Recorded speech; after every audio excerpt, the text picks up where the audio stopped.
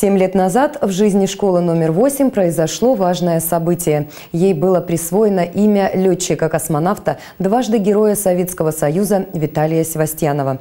С тех пор День космонавтики здесь особо почитаемый праздник. 12 апреля на торжественном сборе пионерской дружины побывала и наша съемочная группа. Готовясь к мероприятию, ребята вместе с преподавателями провели большую работу, организовали выставку книг «Человек и космос», нарисовали стенгазеты, подготовили мультимедийную презентацию. Особенно волнительно для них было выступать перед почетными гостями. Одной из первых к ребятам обратилась ветеран педагогического труда Людмила Кармазина. Мой класс, отряд носил имя Титова. И в это время, после полета Титова, мы решили написать ему письмо.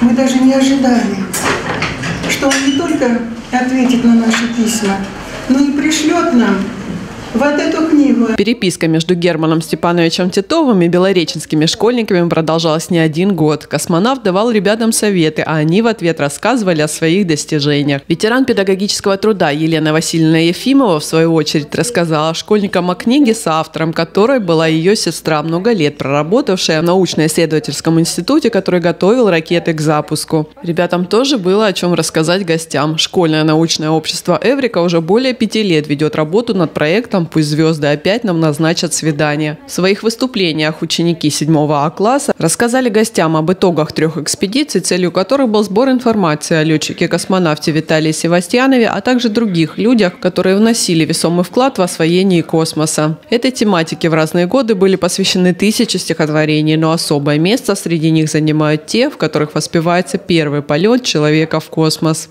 Всего полвека лишь с того апреля когда простой советский парень наш от грациозности судьбы Пилея впервые космос взял на абордаж. Я помню, солнце в этот день искрилось. Какой был удивительный апрель. И сердце радость с гордостью светилась. Из космоса Гагарин прилетел. Продолжила мероприятие викторина, в которой ребята закрепили полученные знания. Назовите русского ученого, основоположника космонавтики. Без труда через Сережа там по-моему. Ученого, э, его фамилия была Циолковский.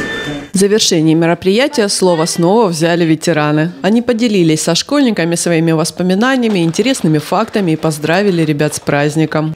В 1962 году я был призван в вооруженные силы вторично и был направлен на он, да, на космический космодром Байконур.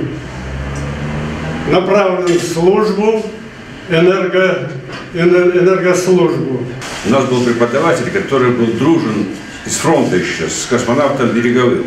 И нас тогда вот вся наша группа пригласили в Звездный городок. Тогда еще а, немного туда людей ездило, он был такой, ну, секретный, конечно, очень объект. Тогда это был, да, летчики, космонавты. Жили в таких скромных пятиэтажках, в этих панельных, типа, типовых. Ничего тут такого особенного не было. Сейчас есть День космонавтики. Так вот, День космонавтики, для вас он должен продолжаться и дальше. Учитесь, проектируйте, делайте. И я надеюсь, что из вас сидящих здесь кто-то побывает и на Луне, кто-то побывает на Марсе, на Венере, есть ли там жизнь, тоже неизвестно. Мы не знаем, станет ли кто-то из ребят летчиком или космонавтом, но в приоритете победителя космической викторины Александра Контиша именно эти профессии. Я дома читала много дополнительной э, информации, и в будущем я хочу связать свою профессию с космосом. Э, мой кумир – это Юрий Гагарин, так как он первый полетел э, в космос, и я хочу равняться на него. Вера Савельева, Сергей Чернецов. События и людям.